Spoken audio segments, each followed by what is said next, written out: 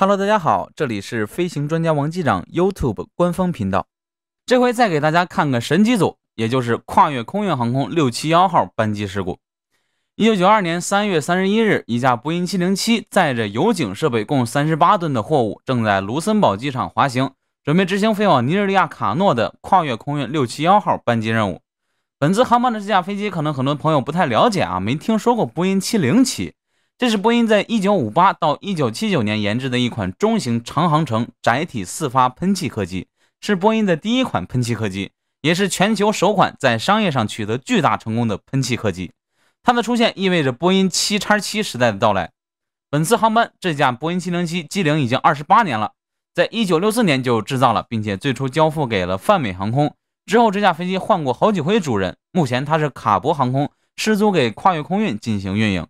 这里说到一个新词儿叫失租，以后有机会给大家讲讲这个航空界的专有词语啊。本次航班的机组经验十分丰富，机长总共有两万六千小时的飞行经验，副驾也有一万四千小时，曾经还干过空管。除此之外呀，飞机上还有其他三位工作人员。飞机准备就绪，一切正常，就按时起飞了。爬升途中也没发生什么值得注意的事儿，但是天气开始变得恶化了。这也是阿尔卑斯山脉上空，天气经常出状况。飞机开始颠簸，于是机组决定爬升到三万三千英尺，大约一万米的高度。结果就在飞机飞到三万两千英尺，约合九千八百米的时候，飞机突然出现了剧烈的颠簸，并伴有响亮的砰砰两声。飞机随后开始向右滚动，机长眼疾手快，抓住操纵杆就往反方向掰。此时啊，驾驶舱里的三号、四号引擎火灾警报也出现了，飞行工程师立刻开始处理。然后副驾扭头从窗户那儿往发动机方向看了一眼，这不看不要紧，一看吓了一跳啊！我操，我四号发动机呢？事不宜迟，机组马上向空管求救。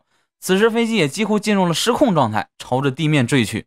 大家不要觉得，哎，这喷气客机不是只有一个引擎就能维持飞行吗？这掉了一个，也可能两个，剩下的俩不还能用吗？甚至还减轻重量了，更好飞了。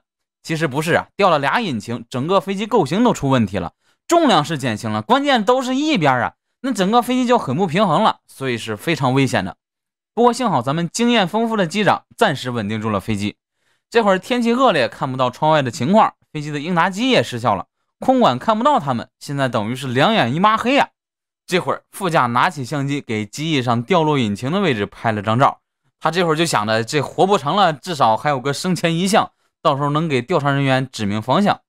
此时，飞行工程师把应答机的供电改到了正常运行的一号引擎，地面终于看见了这架飞机的位置，空管也可以引导他们紧急降落了。空管指示他们前往就近的马赛机场降落。此时，飞机也终于冲出了云层，机组长舒一口气。副驾再去看了一眼受损位置，啊，刚舒的那口气又抽回去了。好家伙，原来是掉了俩引擎啊！机组直接震惊，飞机又成了波音牌健身房了啊！机长使出全身力气拧操纵杆左转。终于，飞机朝向机场飞去。为了不让飞机过重、再次失控以及更好的落地啊，机组决定放掉多余的燃油。目前飞机还是比较快的，机长收了点油门，结果发现飞机不受控制的下降率更大了，放油也出了点故障。马赛机场的天气状况也不好，而且距离还比较长。机组一想，完蛋，这不 BBQ 了吗？飞机很难撑过去啊！就算过去了，也不一定能降落，这还有啥玩的意义吗？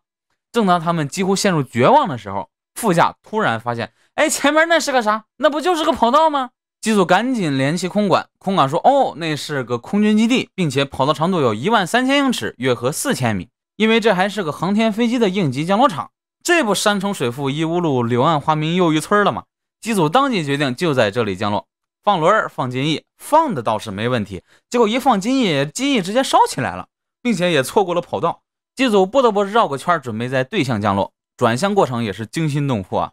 机长都拽的没劲儿了，这会儿副驾灵机一动，再次使用了发动机差速控制大法。就这样，惊心动魄的时刻就到了。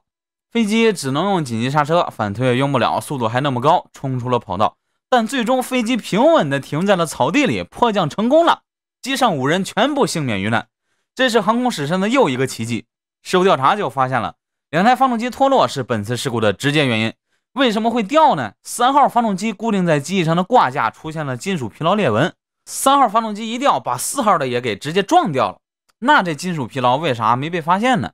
原来是当时要求对此定期检查的适航指令在技术上无法检出疲劳裂纹。针对此次事故啊，法国民航安全调查分析局要求修改检查程序，并对空管进行应急情况的培训。机组教科书般的操作是迫降成功的原因，他们获得了应有的荣誉。然而飞机啊，因为机翼烧毁，最终进行了报废处理。好的，那这就是我们本期视频的全部内容了。如果你喜欢的话，可以点赞、订阅并开启推送，这样就不会错过我的其他影片了。这里是飞行专家王机长，那我们下期再见。